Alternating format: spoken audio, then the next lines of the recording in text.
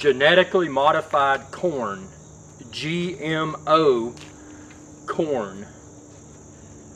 Golf, Mike, Oscar. Why is GMO corn growing here?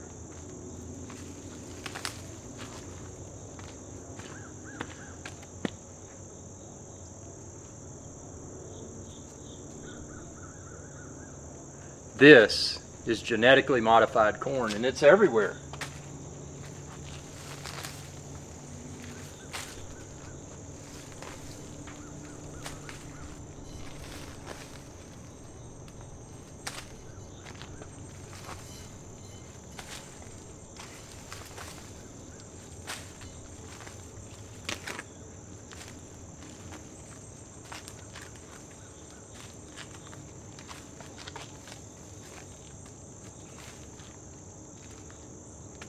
I performed my research and I found the root cause.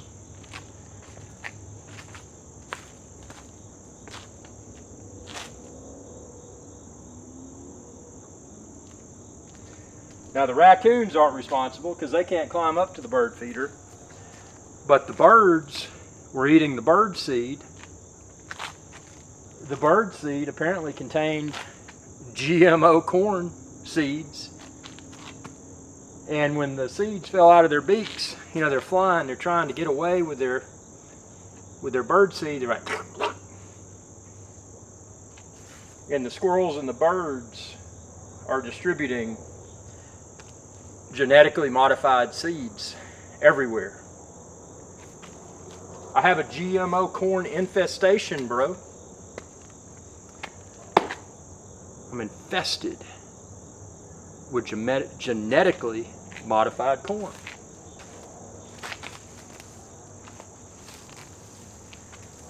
So the reason I'm posting this video is obviously to let the world know that something as simple as seed, something as simple as bird seed, can create a GMO corn infestation. So be aware. Be aware of what you're putting in your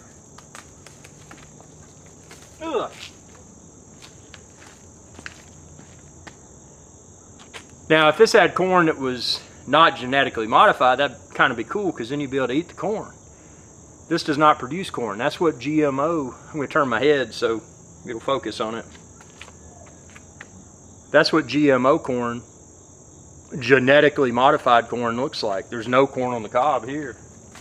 It's just some stuff that that was cranked out in the lab, dude.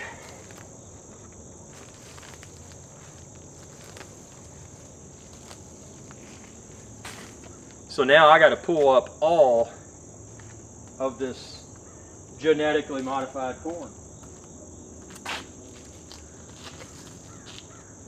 Look how big this one is, man.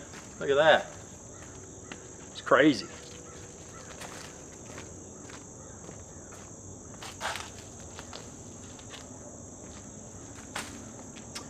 Well, comment below, tell me what you think. Have you ever encountered a problem with GMO corn? And how was it? How did it appear at your place? Comment below, tell me. Quite concerning. Thanks for your viewership and y'all have a good day. And be sure to subscribe and ring that bell to be notified whenever I post another video. Y'all have a good day.